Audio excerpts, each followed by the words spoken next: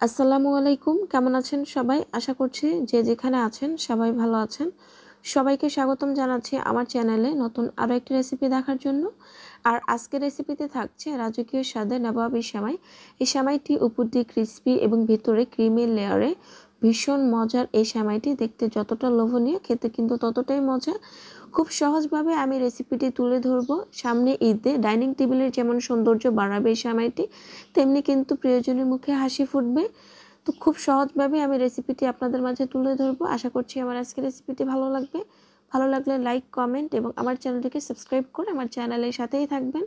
তো চলুন চলে যাই মূল রেসিপিতে সেমাইটি রান্না করার জন্য প্রথমে এখানে আমি আড়াইশো গ্রাম লাচ্চা সেমাই নিয়েছি। আর এই সেমাইটি রান্না করতে কিন্তু লাচ্চা সেমাইটাই লাগবে। তো এখন এই সেমাইগুলোকে আমি ভেজে নেব। তাই এখানে একটা চুলায় প্যান বসিয়ে দিয়েছি। তারপর এখানে দিয়ে দিচ্ছি আমি ঘি। এখানে ছয় চা চামচ পরিমাণ আমি ঘি দিয়েছি। ছয় চা চামচ পরিমাণ দুই টেবিল চামচ পরিমাণ ঘি হয়। তো আপনারা কিন্তু ঘি এবং তেল দুটো মিশিয়ে কিন্তু দিতে পারবেন। তবে পুরোটা যদি ঘি দিয়ে ভাজেন তাহলে খেতে ভালো লাগবে। এখানে আমি আমার পছন্দ মতো তিন রকমের বাদাম দিয়ে দিয়েছি। আপনারা আপনাদের পছন্দ মতো দিয়ে দিবেন। আমি কাঠবাদাম, পেস্তা বাদাম এবং কাজু বাদাম দিয়ে দিয়েছি। তারপর এখানে কিছুটা আমি দিয়ে দিয়েছি কিশমিশ। সবগুলো উপকরণ আমি 30 সেকেন্ডের মতো ভেজে নেব। যখন কিশমিশগুলো ফুলে উঠবে তখন কিন্তু চুলার জালটা নিভিয়ে দিতে হবে বা ভাজা বন্ধ করে দিতে হবে। তো এখন কিছুটা বাদাম আমি উঠিয়ে নিচ্ছি আর কিছুটা আমি রেখে দিব। আপনারা আপনাদের পছন্দ মতো কিন্তু এখানে বাদাম দিয়ে দিবেন। তারপরে এখানে আমি দিয়ে দিচ্ছি লাচ্চা শ্যামাই। আর শ্যামাইগুলো দিয়ে কিন্তু অনবরত নেড়ে চেড়ে তারপরে ভেজে নিতে হবে। আর চুলোর জালটা কিন্তু লোতে রেখে তারপরে ভাজতে হবে, নাহলে কিন্তু দ্রুত শ্যামাইগুলো পুড়ে যাবে। একদমই লো আছে, তারপরে এই শ্যামাইগুলোকে আমি দুই মিনিটের মতো ভেজে নেব। ভাজা যখন হয়ে যাবে, তখন আমি এখানে দিয়ে দিব গুঁড়ো দুধ। আমি এখানে হাফ কাপ পরিমাণ গুঁড়োর দুধ দিয়ে দিচ্ছি, আপনারা কিন্তু কম বেশি দিতে পারবেন, তবে দুধের পরিমাণটা বেশি দিলে বেশ ভালো হয়। তারপরে এখানে দিয়ে দিয়েছি আমি চিনি, আমি হাফ কাপ পরিমাণ চিনি দিয়ে দিয়েছি। এটা যার যার মতো। যে যতটুকু মিষ্টি খেতে পছন্দ করেন ততটুকু দিয়ে দিবেন। তবে হালকা মিষ্টি হলে কিন্তু আমার কাছে খেতে ভালো লাগে। সবগুলো উপকরণ আমি লো আছে, পাঁচ মিনিটের মতো ভেজে নিব। আর এর মধ্যে কিন্তু চিনিটা অনেকটা শ্যামের সঙ্গে মিশে যাবে। তো ভাজা হয়ে গিয়েছে। এখন এখান থেকে আমি কিছু পরিমাণ শ্যামাই উঠিয়ে নিচ্ছি। মানে আমি এখানে তিন ভাগের দুই ভাগে উঠিয়ে নিয়েছি। আর এক ভাগ কিন্তু আমি রেখে দিয়েছি। তারপর এখানে আমি ফুড কালার দিয়ে দিচ্ছি, আমি জর্দা রঙটা দিয়ে দিচ্ছি। আপনারা চাইলে কিন্তু এখানে যে কোনো কালার ইউজ করতে পারেন, তবে না দিলেও কিন্তু কোনো সমস্যা নেই। দুই মিনিটের মতো আমি ভেজে নিব, এর মধ্যে কিন্তু কালারটা চেঞ্জ হয়ে যাবে, দেখতে পাচ্ছেন? কালার চেঞ্জ হয়ে গিয়েছে। এখন এগুলোকে আমি উঠিয়ে নিব। তারপরে এখানে একটা সার্ভিং ডিশ নিয়ে নিয়েছি এর মধ্যে আমি দিয়ে দিয়েছি ভেজে রাখা শ্যামাই আমি এখানে কিন্তু পুরো শ্যামাইটা দেবো না, আমি অর্ধেক শ্যামাই দিয়ে। তারপরে কিন্তু আমি চেপে চেপে আমি শ্যামাইগুলোকে বসিয়ে নিব বা সেট করে নিব। আর এই কাজটা কিন্তু এখনই করতে হবে। আপনারা যদি ঠান্ডা হওয়ার পর করেন, তাহলে কিন্তু শ্যামাইগুলো সেট হবে না। আপনারা যখন ক্রিমটা দেবেন, তখন কিন্তু শ্যামাইগুলো উপরে উঠে আসবে। আর গরম অবস্থায় যদি সেট করা হয়, তাহলে কিন্তু এগুলো আর উপরে উঠে আসবে না। তো সেট হয়ে গিয়েছে। এখন আমি রেখে দেবো একটা সাইডে তারপরে চলে আসলাম আমি ক্রিমটা তৈরি করার জন্য। এজন্য দেখতে পাচ্ছেন একটা ক্রিম নিয়েছি আমি। এটা যে কোনো সুপার শপে কিন্তু আপনারা কিনতে পারবেন আর যে কোনো ব্র্যান্ডের কিন্তু আপনারা নিতে পারবেন। এর মধ্যে আমি এক লিটার পরিমাণ গরুর দুধ জাল করে তারপরে ঠান্ডা করে নিয়েছি আর দুধটাকে কিন্তু আমি ঘন করে নিই। একটা বলক ওঠার পরে কিন্তু নিভিয়ে দিয়েছিলাম। তারপরে এখানে দিয়ে দিচ্ছি আমি কনডেক্স মিল্ক। চাইলে কিন্তু আপনারা এখানে চিনিও দিতে পারবেন। যে যতটুকু মিষ্টি খেতে পছন্দ করেন ততটুকুই দিবেন। তারপরে এখানে দিয়ে দিচ্ছি আমি কাস্টার্ড পাউডার তিন টেবিল চামচ পরিমাণ। চাইলে কিন্তু আপনার এখানে কর্নফ্লাওয়ারটাও দিতে পারবেন, কোনো সমস্যা নেই। সমস্ত উপকরণ আমি এখন একটা হ্যান্ড হুইক্সের মাধ্যমে মিক্স করে নিব। আর এখন কিন্তু চুলোর জলটা নিভানো আছে, আমি কিন্তু এখনও চুলোর জলটা জ্বালিয়ে দিইনি। তো হ্যান্ড হুইক্স দিয়ে খুব ভালোভাবে দুধের সঙ্গে কিন্তু মিশিয়ে নিতে হবে।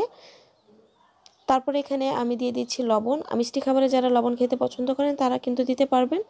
তো সমস্ত উপকরণ আমার মেশানো হয়ে গিয়েছে। এখন কিন্তু চুলোর জালটা কিন্তু আমি জ্বালিয়ে দিয়েছি। আস্তে আস্তে কিন্তু এই দুধটা কিন্তু ঘন হতে শুরু করবে। আর যেহেতু এখানে কাস্টার্ড পাউডার দিয়েছি, এটা কিন্তু খুব দ্রুত ঘন হয়ে যাবে। আর এই সময় কিন্তু অনবরত নেড়ে চেড়ে নিতে হবে। আর চুলোর জালটা কিন্তু মিডিয়াম লো আছে। রাখতে হবে। জাল করতে করতে একটা সময় দেখবেন অনেকটা ঘন হয়ে যাচ্ছে। আর এই সময় কিন্তু অবশ্যই নাড়ার উপর রাখবে না হলে কিন্তু নিচ দিয়ে ধরে যাবে। তো নেড়ে চেড়ে এই দুধটাকে আমি আরেকটু ঘন করে নিচ্ছি। আর এর ঘনত্বটা কেমন হবে আমি একটু দেখিয়ে দিব। আর এই দুধটা কিন্তু পাঁচ মিনিটের মতো জাল করলে কিন্তু ঘন হয়ে যাবে। তখন উপর দিয়ে এরকম মোটা বলক উঠবে বা চামচের মধ্যে ক্রিমটা লেগে লেগে থাকবে, অনেকটা ভারী হয়ে যাবে, তখন কিন্তু চুলোর জালটা নিভিয়ে দিতে হবে। আর এই ক্রিমটা কিন্তু ঠান্ডা হওয়ার পর আরও ঘন হয়ে যাবে। তো এখন আমি চুলোর চালটা কিন্তু নিভিয়ে দিয়েছি। আর নেবানোর সাথে সাথে কিন্তু আমরা যে সামাইটা সেট করেছিলাম, সেই সামাইয়ের মধ্যে কিন্তু দিয়ে দিব, কারণ এটা ঠান্ডা হওয়ার পর কিন্তু জমে যাবে। সবগুলো ক্রিম কিন্তু আমি দিয়ে দিয়েছি। আপনাদের যদি বেশি হয় তাহলে কিন্তু আপনারা অন্য গ্লাস বা বাটির মধ্যে সেট করে নিতে পারবেন। তারপরে উপর দিয়ে আমি দিয়ে দিচ্ছি সামাই। যে সামাইগুলো আমি ভেজে নিয়েছিলাম, সেই সামাইগুলো আর যে সামাইগুলোতে আমি কালার দিয়েছি সেটা কিন্তু দিচ্ছি না।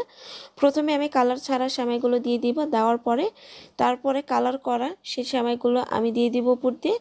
আর এটা আপনারা যেভাবে পছন্দ করেন সেভাবে কিন্তু দিয়ে দিবেন। আর ক্রিমটা যেন না দেখা যায় সেভাবে কিন্তু দিয়ে দিতে হবে।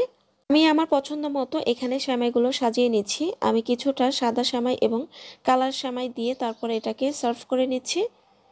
তো এখন এখানে আমি ভেজে রাখা সেই বাদামগুলো দিয়ে দিব। যে বাদামগুলো আমি উঠিয়ে রেখেছিলাম, আমি উপর দিয়ে দিয়ে দিয়েছি। আর বাদামের পরিমাণটা একটু বেশি দেওয়ার চেষ্টা করবেন।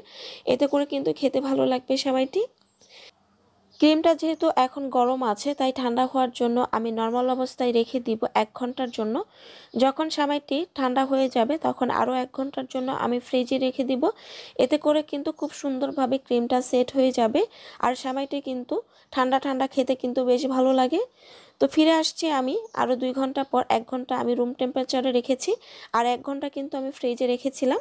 তো এখন আমি এই সামাইটি কেটে দেখাবো কতটা লোভনীয় এবং পারফেক্ট হয়েছে। সামনে যেহেতু ঈদ, আর এই ঈদে কিন্তু রাখতে পারেন এই মজাদার ডেজার্টটি। ডাইনিং টেবিলের সৌন্দর্য যেমন বাড়াবে, তেমন কিন্তু প্রিয়জনের মুখে হাসি ফোটাবে। খুব সহজভাবে দেখানোর চেষ্টা করেছি রেসিপিটা। আশা করছি আমার আজকের রেসিপিটি ভালো লেগেছে। ভালো লাগলে অবশ্যই লাইক, কমেন্ট এবং বেশি বেশি শেয়ার করবেন এবং আমার চ্যানেলটিকে সাবস্ক্রাইব করে আমার চ্যানেলের সাথেই থাকবেন। তো এতক্ষণ থাকার জন্য সবাইকে অসংখ্য ধন্যবাদ। সবাই ভালো থাকবেন, সুস্থ থাকবেন, নিরাপদে থাকবেন। আমার জন্য দোয়া করবেন। আল্লাহ হাফেজ।